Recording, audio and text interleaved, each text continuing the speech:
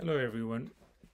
My name is Graeme Rodgers. Uh, I'm a technical advisor for research at the International Rescue Committee, and I work in a department called Resettlement, Asylum and Integration, or RAI.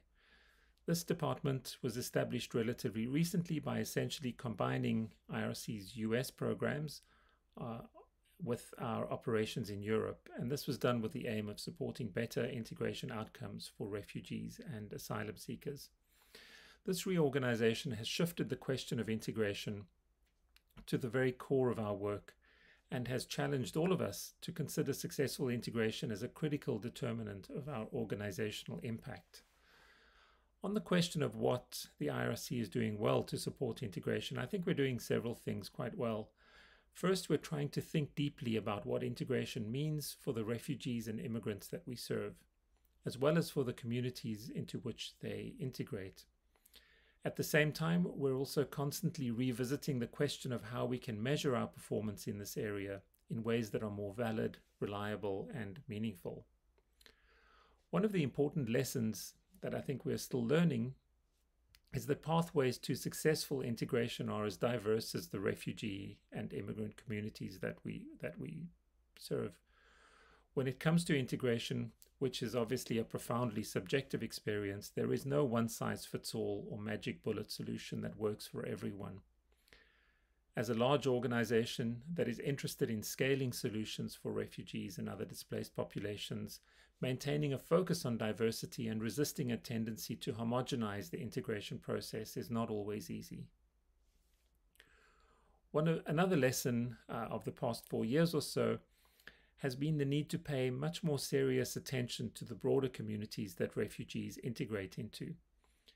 I think we're getting better at seeing or imagining integration more as the development and strengthening of relationships that uh, evolve over time, rather, rather than just the sum total of narrowly defined milestones that we measure, uh, usually independently of each other and sometimes quite uh, arbitrarily and in ways that we think are important or perhaps that our donors think are important. This in turn is leading us towards a greater appreciation of the value uh, uh, that our local operational presence represents and the importance of preserving this capacity. In the US, our support for integration is delivered through our network of 25 offices across, uh, located across the country in cities as diverse as Wichita, Kansas, and New York City. Each of these represents a unique set of challenges and opportunities that can only be identified and addressed through locally grounded and embedded practice. I'll mention just uh, one example. The IRC has a program called New Roots, which creates opportunities for urban gardening and small scale farming at many sites across our network. Although the program gets offered in uh, much the same way across uh, all of the sites, it gets picked up and transformed in ways that reflect the particularities of the local context. So even with similar program inputs, each site ends up looking very different. In some instances, New Roots offers a critical activity and a safe space for older refugees with limited education and uh, English language abilities, uh, which also incidentally produces some remarkable mental health benefits. And then at other sites, uh, other sites end up focusing more on education or markets. And these markets are in turn organized in very different ways that bring in a range of new actors and may initiate new conversations that explore themes like healthy food options, the localization of food supply chains, and environmental responsibility. Regardless of how these conversations play out, the important point is that they connect people in ways that tie them together in uh, uh, in localized contexts. So on the one hand, it may seem obvious that these programs will play out differently across different sites, but it is surprising to me that we uh, have tended to pay relatively little attention to this type of heterogeneity, especially when we're considering the question of integration.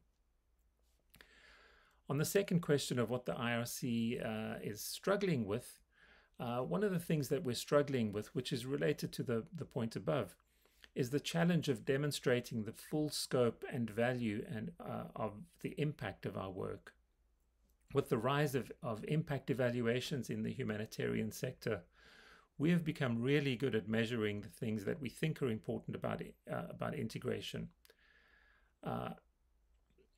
As I think the the the example uh, mentioned above suggests, there's there is a lot about our work in localized communities that might be unplanned or unacknowledged, but which nonetheless makes a critical contribution to the overall project of integration.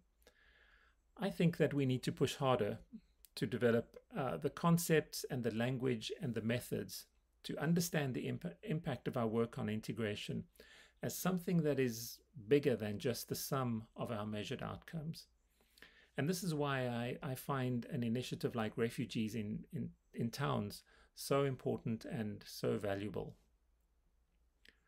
On the third question, on how uh, the IRC may be using research or evidence to affect practice, uh, the IRC has been committed to the idea of evidence-based practice for several several years now and we've been grappling with the many issues and challenges that this raises.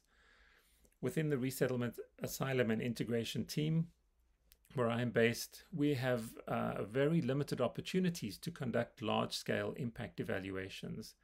And this limits the extent to which we can ge generate this type of evidence. We struggle with sample size, representativity, the possibility of manipulating interventions to enable control, and so on. But perhaps one of the upsides has uh, of this has been that it, is, it has compelled us to think about evidence in slightly different ways beyond measuring the causal relatedness between an intervention that we think is important and a set of outcomes that we think is important based on the measurement of uh, statistically significant differences. Such studies are obviously still important and will continue to be important for the IRC, but I think we need to expand our approaches and methods in ways that really focus on what's important for our clients and the communities that they uh, that they live within.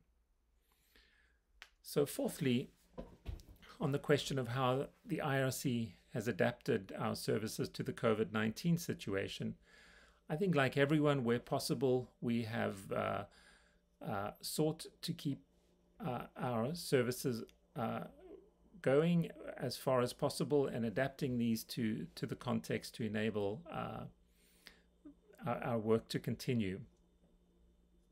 In some cases, this is in, has involved uh, experimenting with new ways of delivering services either online or over the phone where, where this is possible and appropriate. In situations where services need to be delivered in person, such as supporting newly arrived refugee families, we obviously ensure that protocols and social uh, uh, protocols on social distancing are adhered to. And I think all of us across the organization really appreciate and recognize the commitment from uh, the staff members who are on our front line uh, in supporting these newly arrived families. As far as our research is concerned, the COVID 19 pandemic has certainly disrupted our ability to collect data, as I think everybody uh, in this conference is, is probably acutely uh, aware of. And again, we have sought to adjust our protocols to collect data online or over the phone uh, just to keep the show on the road as far as possible. Obviously, the pandemic has also raised new questions that we are beginning to develop and explore. One of the um, one of the obvious ones is, uh, you know, what has the COVID pandemic what impact has the COVID pandemic had on refugee integration processes and experiences? So one of the ways that we're trying to do this is to build on a on a three-year study that we uh, just finished collecting data for uh, to really extend the longitudinal dimension of the study uh, and develop new questions so that we can connect the um, uh, the insight that we have into the integration experiences of our clients over the last three years and connect that to the, uh, the, the, effect that the COVID 19 pandemic has had on their lives.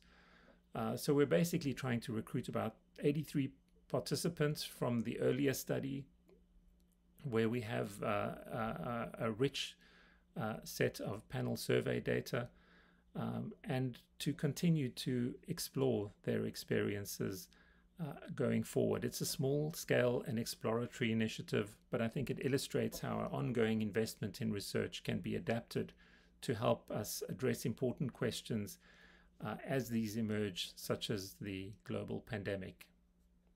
Thank you.